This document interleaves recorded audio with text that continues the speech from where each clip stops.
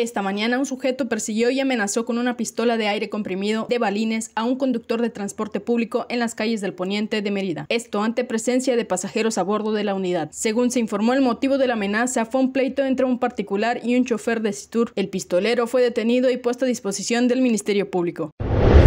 Seis trabajadores de la construcción resultaron lesionados luego de que la camioneta en la que viajaban volcara en el tramo carretero Tepich-Carrillo y Petectunich a la altura del kilómetro 5. El hecho ocurrió después de que el conductor de la camioneta dormitara y perdiera el control de la unidad, la cual fue a parar al monte, pasando por un montículo de piedras hasta salir de nuevo a la vía y volcar sobre un costado. Los seis alarifes quedaron con varias lesiones considerables, por lo que tuvieron que ser llevados a un hospital para una mayor atención.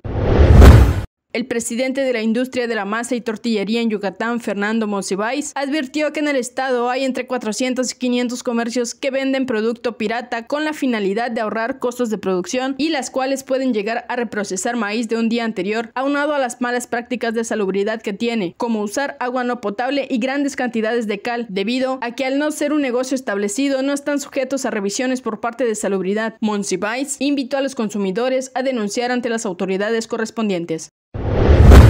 Este jueves, el alcalde de Mérida, Renan Barrera Concha, supervisó la instalación de bicipuertos en el Parque de Santiago, los cuales son parte del programa Muévete por Mérida, el cual incluye 28 biciestacionamientos sencillos en parques y espacios públicos. Estos trabajos representan una inversión total de 555.794.72 pesos y la instalación de todos los módulos tardará alrededor de dos semanas.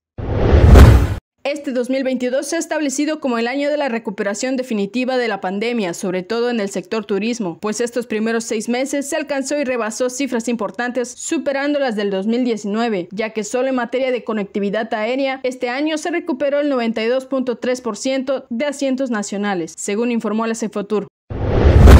En las últimas 24 horas se registraron 85 nuevos contagios por COVID-19 en la entidad. Además, se reportan 15 pacientes en hospitales públicos. Lamentablemente, esta tarde también se notificó de dos fallecimientos. Dos hombres, uno de 84 años de Motul y otro de 75 años de Mérida, según informó la Secretaría de Salud de Yucatán.